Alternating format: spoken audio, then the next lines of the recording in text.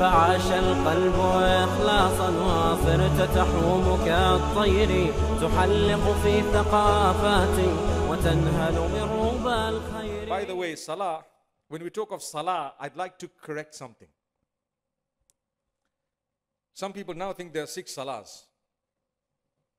Fajr, Dhuhr, Asr, Maghrib, Isha, and Muhammad. You didn't get that.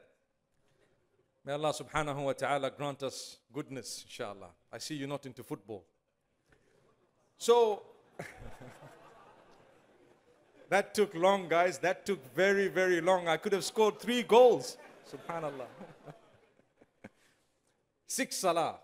Fajr, Dhuhr, Asr, Maghrib, Isha, and Muhammad. You know what the young boys think that means? That means there is time in the day to watch football. Subhanallah. My brothers, that is salah. Salah.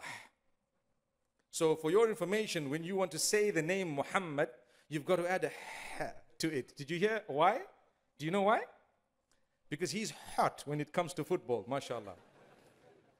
My brothers and sisters, that is salah. Salah is goodness and piety. That's what it means. It doesn't mean prayer. Prayer is salah with a ha. And this is salah with a ha.